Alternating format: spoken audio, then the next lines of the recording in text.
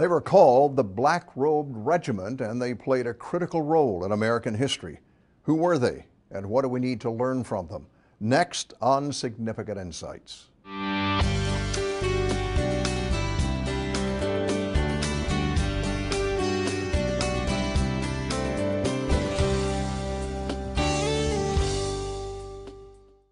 Hello and welcome to the program. You know, it's likely you never heard the term Black Robed Regiment, and that's really too bad because this was a group of early American preachers who, through their sermons and through their actions, helped chart the course of American independence in the 18th century. The British actually coined the term because regiment is a military word for ground forces and supporting units in battle. And many preachers around that time of the Revolutionary War preached often about spiritual and civil liberty. And they also championed the rights of colonists for independence from Britain. The British, therefore, regarded these preachers as an enemy battalion. Well, today, Greg Bogdan talks with Pastor Dan Fisher, who is dressed like one of those preachers from long ago, about the Black Robed Regiment and why he feels it's time in our country to bring them back. I have to tell you, um, I don't know that I've interviewed anybody in a robe like yours before. well, I don't think I've ever been interviewed in a robe before, so there we go. Back in the 1700s, um, how would you say that most people got their information, their news? Oh, it was clearly the pastor. The church was the center of the culture in the 18th century, and the pastor generally was the most educated in the entire town. So he was the one who was the most up on what was going on. Right. You know, today we have so many separation of church and state and, you know, the difference between civil and religious liberties. Um, how was it back then? The founders considered separating civil and religious issues, separating those as being a very ungodly practice. Yeah. Of course, we're told today the exact opposite, and it's a myth of separation of church and state. So it would have been the exact opposite of what we see today. Hmm. Now, you're wearing a robe, and obviously there's something called the Black Robe Regiment. Yes. Uh, can you explain that for the audience? I'd be happy to. Well, you know, the pastors in those days, pretty much every denomination would preach uh, in robes on Sunday mornings. They'd, they'd, wear black robes and they'd wear these scarves. So it was, it was part of the style, part of the decorum of that time. Mm-hmm. So it wouldn't matter whether you're Lutheran, uh, Presbyterian, Baptist, generally the preacher would be wearing a black robe. Huh. Well, they had been preaching that the gospel does more than address a person's salvation and their relationship to God. It, the gospel also addresses how you impact the world while you're here, as Jesus called being salt and light. So they believe that you couldn't compartmentalize your, your Christianity into the, the secular and the sacred. Everything was the same. So as these men would preach in their pulpits, they would preach about the biblical principles of government, justice, tyranny, all those different kinds of things. Well, once they really began to, to get too close for comfort for the British crown, uh, a, uh, a, a, an actual American who was a Tory, a British sympathizer named Peter Oliver, uh, came up with the phrase black robed regiment, and it stuck, and those guys kind of wore it as a, a badge of honor. Now, uh, Reverend John Muhlenberg was one of the well-known pastors at the time. Uh, yes. Uh, tell us, give us a little history on him. Oh, okay. Well, he came from a long line of Lutherans. In fact, his father, Henry, was the father of the Lutheran Church in America. They were originally from Pennsylvania, and his name was John Peter Gabriel Muhlenberg, kind of a long title, but he went by Peter. In fact, his, his enemies called him Devil Pete because huh. as a young man he had a pretty uh, fiery temper. Well, he was a Lutheran preacher in Woodstock, Virginia, but he also served in the Virginia House of Burgesses with George Washington and Patrick Henry. Yeah. So he had been preaching all these principles from his pulpit. And of course, the tightening grip of tyranny from Great Britain was being felt by everyone. And the pastors were preparing their men to stand up if necessary. And he was one of those guys. Well, what is he most notable for? Well, what he's most notable for is on January the 21st, 1776, he had announced that that would be his final sermon as the pastor there in Woodstock. And what the members didn't know is that he had been recommended to be commissioned as a colonel to raise a new Virginia regiment. It's going to be a cavalry unit called the 8th Virginia. So here he preaches his sermon wearing his traditional black robe. But unknown to the congregation, he has on his colonel's uniform underneath the robe. And somewhere in the middle of his sermon, he steps off to the side and he removes his robe, and there he has on his colonial soldier's uniform, a colonel's uniform. And what did that uniform look like? The colonel would normally wear a blue with a slightly tan or brownish colored lapel that would go down in the cuffs. Now, you brought that uniform as well. Oh, yes, I, I did. I, I really don't go anywhere without it.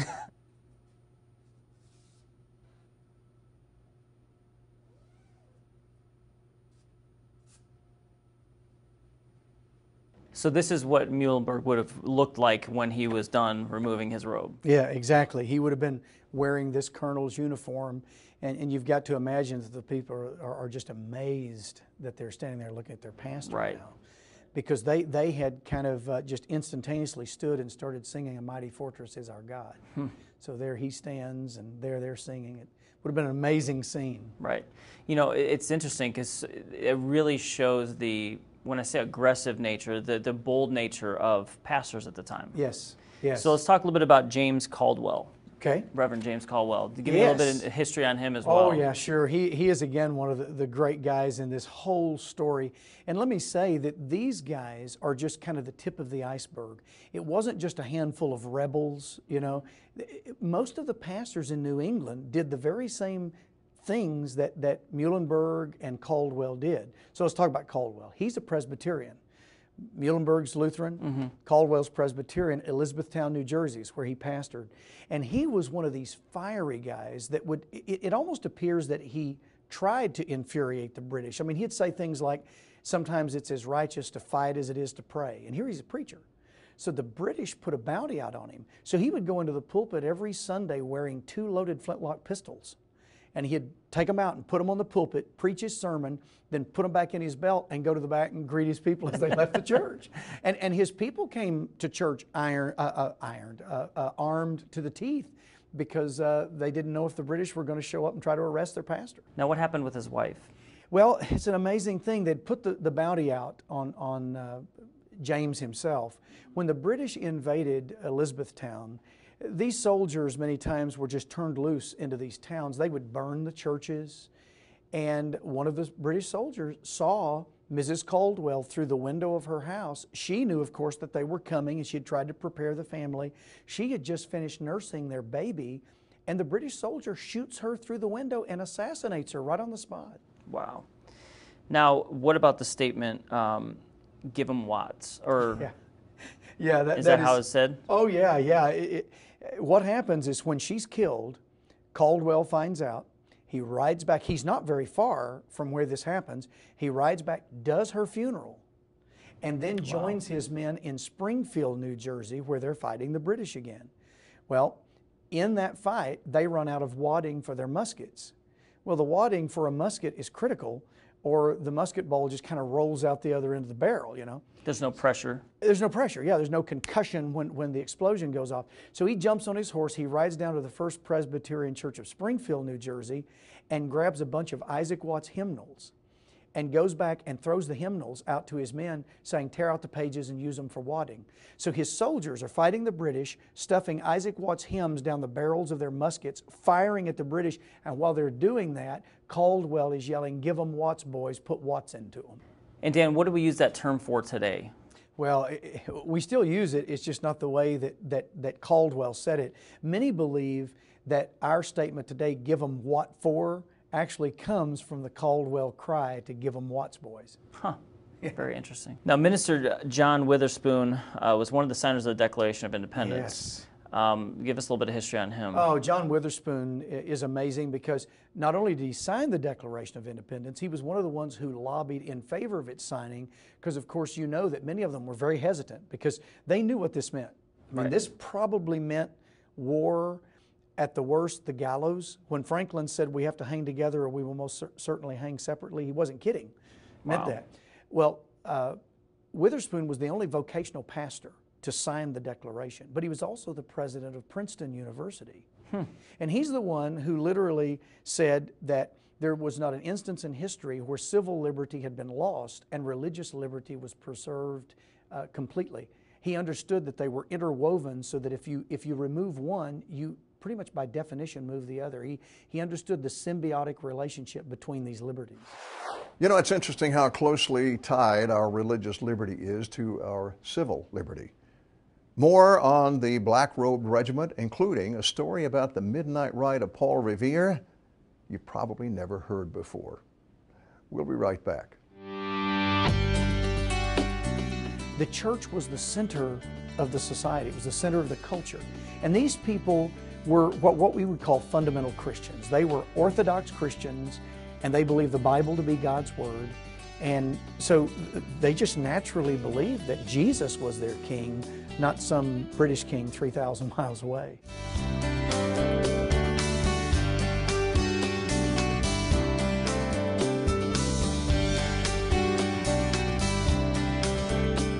Welcome back. Today we're learning about a group of patriot preachers from the Revolutionary War era known as the Black Robed Regiment.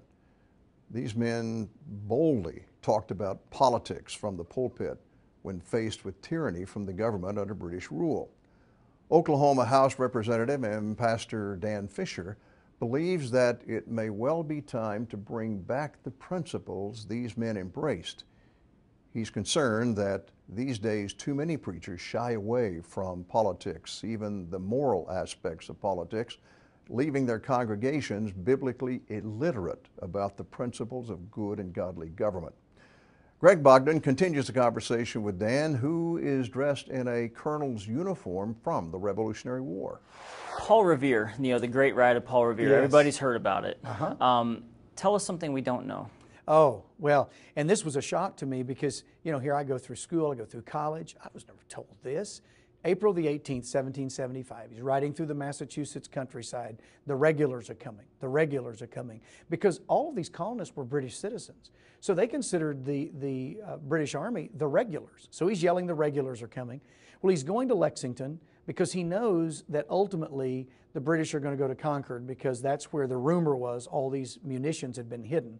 Well, Right. the, the citizens of Concord had already removed those, so the British couldn't get them.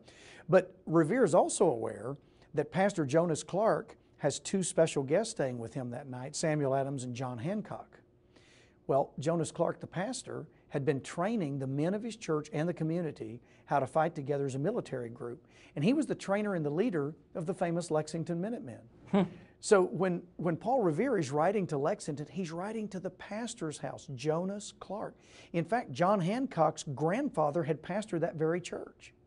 So that's why Revere is going there to warn Pastor Clark to get out the Minutemen to face the British that are marching in his direction. Wow. Yeah. Wow. Much of what we see today, I think we tend to see pastors kind of taking a step back from those type of civil Yes. civil liberties. Oh, yeah. In fact, pastors today are retreating. The pastors in that era, number one, were the primary spokesman. They were fighting the debate. And then when, when the debate was over, and you remember in the Declaration, they, they enumerated how they had tried everything, they'd exhausted every option that they felt they had before them. Then the pastors led out in the actual fighting. Ironically, the first shot of our War of Independence occurred in Lexington in what we would call the churchyard of Jonas Clark's church. So the first battle for our War of Independence happens in a churchyard. It was the gathering house there in Lexington, the meeting house. Now, at the start of the Revolutionary War, what was it the British said to the rebels, and how did they respond? Well, uh, you know, one of the things that uh, is, is recorded in the accounts is that there in Lexington, the, the, the British officer rides up and tells them to throw down their arms, you rebels, in the name of the King of England. We, we don't have recorded what their actual response was, but one of the very popular phrases in that day was, We have no king but King Jesus. And so that was, that was a recurring refrain because, as we said at the beginning of this interview, the church was the center of the society, it was the center of the culture. And these people were what, what we would call fundamental Christians. They were Orthodox Christians and they believe the Bible to be God's Word. And so they just naturally believe that Jesus was their king, not some British king 3,000 miles away. So you would like to bring back the Black Robe Regiment. Yes. To you, you know, what? How do you, you know, practically speaking, how does that work itself out? I mean, what does a preacher today Uh, what does that mean? I'm, I'm not advocating another war, Right. but I am advocating a return to the spirit of those pastors. Here's, here's the way I say it the pastors and the church presided over the sunrise of liberty in North America. If the pulpit and the church does not reawaken, we're going to preside in the 21st century over the sunset of liberty in North America. And I really believe that. I've spent a lot of time researching this. I've written on it, spent two years researching and writing the history of these guys. And it doesn't make me an authority, but I've spent a good deal of time. And so my hope is that we can reawaken the pulpit, get pastors to begin to boldly speak out as their ancestors did, and revive this sleeping giant that we call the church. I mean, you do, you've done a ton of study on this. What's your opinion on where we'd be today in America um, with our religious liberties had these men not stood for what they stood for back then?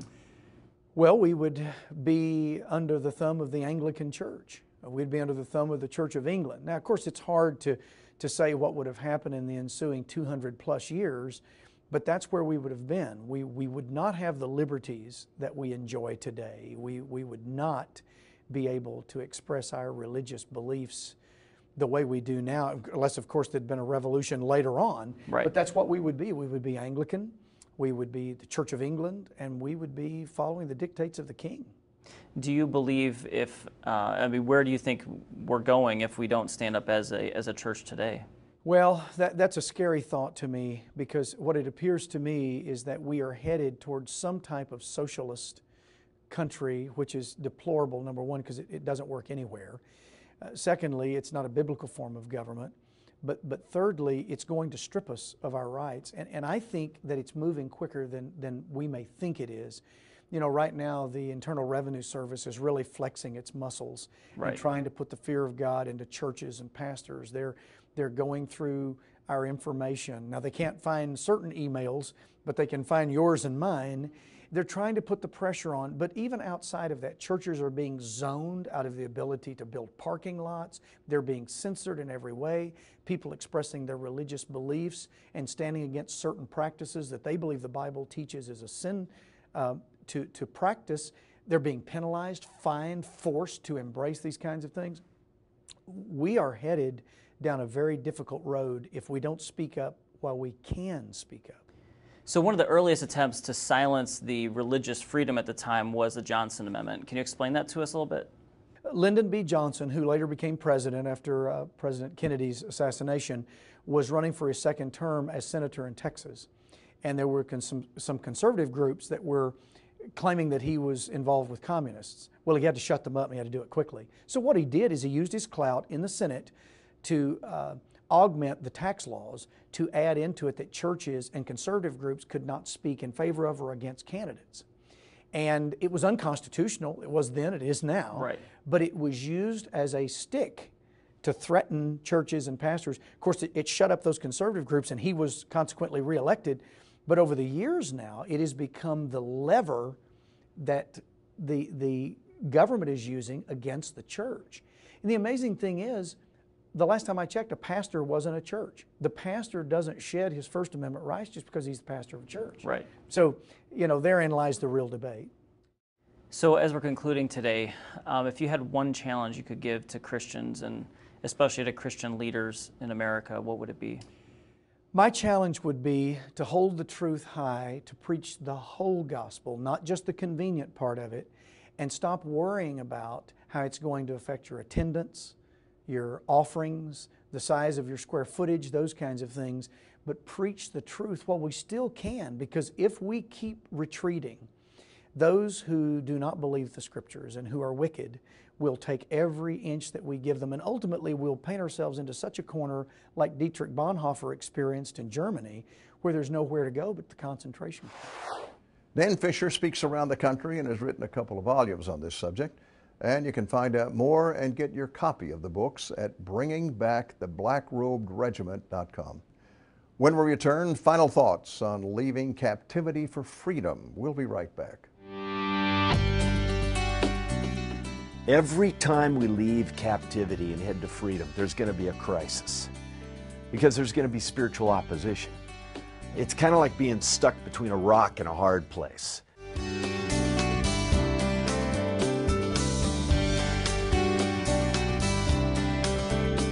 Welcome back. The goal of liberty, of freedom, is a principle that our founders sought and that many died to establish for our country.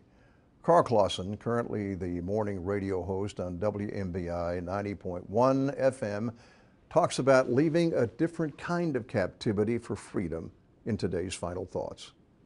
There's no greater adventure in the spiritual life than leaving captivity and heading headlong toward real spiritual freedom. But I want to give you an important aspect of heading to freedom that you need to know so that when, when you hit it, you're not going to be thrown for a loop and derailed. Every time we leave captivity and head to freedom, there's going to be a crisis because there's going to be spiritual opposition. It's kind of like being stuck between a rock and a hard place. Exodus 14 gives us a picture of the nation of Israel coming out of captivity and heading to freedom. But they stood at this crisis, and it's a faith crisis that you're going to face, just like Israel did. And it's just like this. When we head out, uh, maybe we're leaving an addiction behind, uh, some kind of a behavior in our life that we know that we've got to get rid of. Maybe it's a group of friends that we're just getting distance from. At this crisis point, we're going to get hit and stand right between what seems impossible and something that seems absolutely improbable. That's the rock in the hard place. See, for Israel, Moses was confronted by a group of people who said, What's going on here? We got, we got Pharaoh's army coming out to kick our tail, and now we're stuck. What were they stuck between? They were stuck between the passing over some water that looked impossible and the beating back of an army that was totally improbable. That's where you're at. Whenever you leave captivity and head to real freedom, you're going to hit these crisis moments. But here's the silver lining God is doing something in that moment. He's doing the same thing in your life that He did in the nation of Israel. He wants to prove to you that the Lord will fight for you and you only have to be silent. You see, it's in these rock and a hard place moments, the impossible and the improbable, where God wants to seal up and confirm that He's taken us out of captivity and leading us into freedom. So, in that moment, when you feel like I'm about to get my tail kicked spiritually or I'm going to get swallowed up by this sea in front of me, know this Stop, pause, drop to your knees. Allow God to speak to you in that moment because I don't know what it'll be. I don't know if it's the beating back of that army that's chasing you or the opening up of the water in front of you, but this I am certain of. Be silent and God will deliver. That's our God. So the hope for today is this you leave captivity, you go ahead and head to freedom and watch God blow your mind while you're at this crisis of faith. I promise you, He will. Thanks, Carl. Good word. Uh, you know, if I would use the term limited freedom, a lot of people would have, especially today, especially young people, could have a problem with that. But it's through limited freedom that we really have freedom. Every one of us, both in secular life as well as our spiritual life, have to have boundaries. There's places that we have to make decisions that we won't go, things that we won't do. When we read the Bible, the Bible gives us boundaries. And if we somehow believe that we have absolute freedom with no boundaries, then we lose our freedom. Our nation can't survive unless there are boundaries. And in the United States, we call that rule of law. Spiritually, we call that obedience to God's purpose and will for our lives. So in every one of us, we need to have boundaries and we need to establish those boundaries and make sure we stay within them. Thanks for joining me. God bless.